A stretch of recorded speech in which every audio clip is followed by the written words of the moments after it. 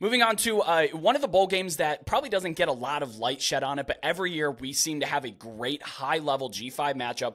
We have the Cure Bowl. Miami of Ohio takes on Appalachian State. The Mountaineers are now six and a half point favorites, and this game carries an over under of 44 and a half points. Kicks off at 3:30 p.m. Eastern on ABC. They play this one at FBC Mortgage Stadium, or the Bounce House as we still know it in Orlando, making it one of 13 FBS stadiums hosting bowls, that, of course, being UCF's home stadium. Uh, rain and wind are in the forecast here. It's still a little bit early. We're in the midweek, and this isn't until Saturday, of course, but keep an eye on that. Potentially 15 plus mile an hour sustained winds and a chance at rain.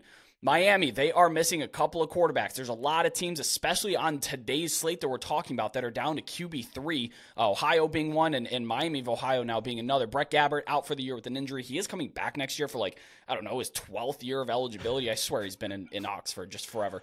Uh, and, and then quarterback, the standing quarterback, Aveon Smith, hit the portal. However, I like where Miami is right now. They may be missing these guys, but there is a ton of buy-in from this team for next season. I, I saw this the big slew of announcements came out. All their best players are coming back next year, and they're gonna play in this game. They had their kicker, I think, hit the portal for a minute and came back, but this team's gonna be at full strength if you're not talking about just quarterback, which is a concern. But I'm not. A, I'm not as concerned about the quarterback situation with Miami as I am other teams, considering the Red Hawks run uh, on 64% of offensive plays in their last three games. That's the eighth most among non service academies and more than Navy. So we're talking about a team that ground and pound really relies on their defense. So I think being down to an inexperienced quarterback is not the biggest issue in the world. So if you're looking at App State across the way, star running back Nate Noel hit the portal. I think that is uh, worth a point or half a point at least if you want to be a little more conservative. But that's really the only player of note that they're going to be missing. These two teams should be pretty close to uh, 100% Sans a quarterback. Uh, the Mountaineers, they won their last five regular season games, including that shocker at James Madison. But their other wins, if you if you look at it, uh, Southern Miss, Georgia State and Georgia Southern, who both combined to lose their last nine games, and uh, a sliding Marshall team. So I don't know that those that you know the James Madison win, awesome, five wins in a row, great, but it wasn't against the best competition. I just think it's great, Brett, that what we're 15 minutes in and you've already talked about two kickers hitting the portal, one coming back out. It's just like it's, it's just crazy. 2,000 plus football players in the portal.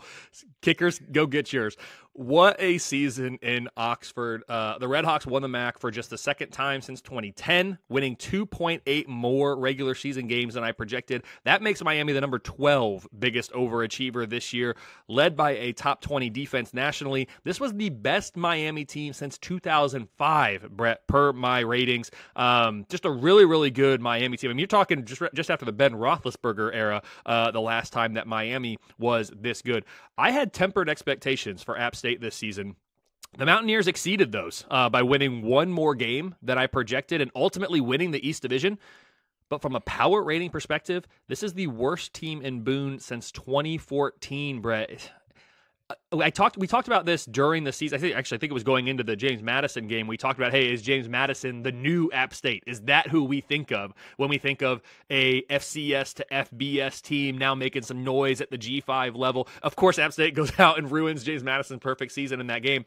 I still, though, as you look at how App State is trending as a program, I, I just I want them to be careful. Like they need to kind of get back on track because I do think we're pretty close to App State fading from the forefront of the G5 powers and being surpassed by some teams in their own conference like James Madison. So I think it sounds silly, but I think this is an important game for App State to to to finish the year on a high note and see if they can kind of build some momentum into what I think is a pretty important year in 2024 for App State as they try to stay at the forefront of the G5 ranks in a Sun Belt conference that could be, maybe it already is, the best G5 conference uh, moving forward. We'll see. There's some really, really strong teams. I want to see the bottom get better first, but there's some really, really strong teams at the top and in the middle of that conference.